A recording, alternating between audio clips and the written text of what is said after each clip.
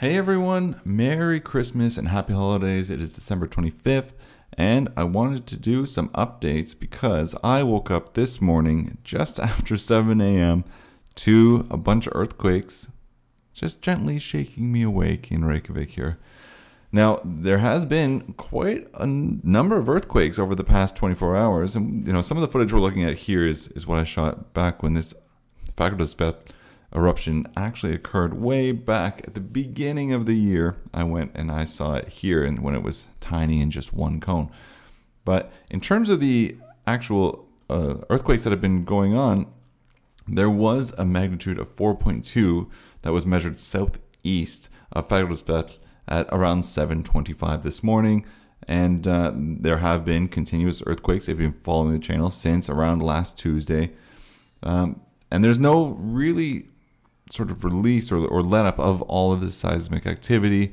And uh, there have been a bunch that were measured over a magnitude of four yesterday, and, and the largest was measured on Wednesday. It was 4.9, and so there's there's that shaking that's been going on. Now the situation is still unclear according to the meteorological uh, office here in Iceland, and there's no signs of eruption so far. But the experts are very closely monitoring the situation, and uh, monitoring around the clock, even though we're through the Christmas and holiday seasons.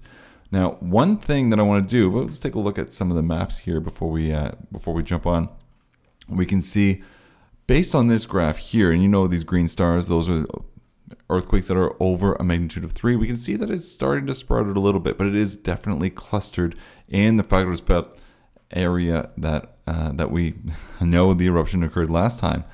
Taking a look at the table here, you know, we can see again there's over 2,000 earthquakes. It's actually gone up over the last 48 hours. So before I think it was around 2,200. Now we're looking at 2,300 or so. And if we look at a magnitude of three and larger, uh, we can see there have been a couple. They were in in the morning and overnight, but the depth before we were seeing stuff around you know the four, five, six maybe even seven kilometers deep. And now we're sort of more concentrated around the threes and the fours, which may mean that it's moving upwards. It's it's definitely hard to say. But one thing that I do want to sort of point out is the news agencies here.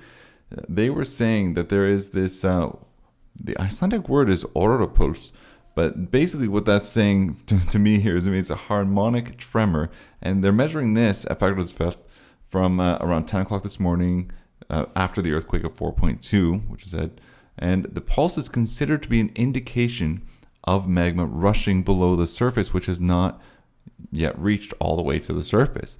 And what they're saying as well is that in March, the disturbance pulses were also measured in the area and led up to the eruption in Geldingadalur two weeks later. Uh, and an expert at the Icelandic Meteorological Office's Nature Conservation Department said in an interview with MBL that the seismic activity and the turbulence are chemically similar in behavior and location to what it was before the eruption started in March. So that's definitely something to be uh, pointing us in the direction that perhaps this is going to erupt or re erupt not sure if it would be considered a new eruption because it has been over three months since the lava has uh, stopped flowing, and they officially just like a week ago declared it completely over. But um, you know these turbulence pulses measured were measured around two weeks before the eruption in March, and then several of them occurred after the eruption, and the chemical similarity supports the conclusion that, of course, things are very similar and it wouldn't be a surprise if it erupted, but also they're saying that it also wouldn't be a surprise if it didn't erupt. So it's kind of that whole thing. It's like maybe it will, maybe it won't. I don't know, 50 50. And we've seen this many times before. So yeah, just wanted to give a quick Christmas update on this.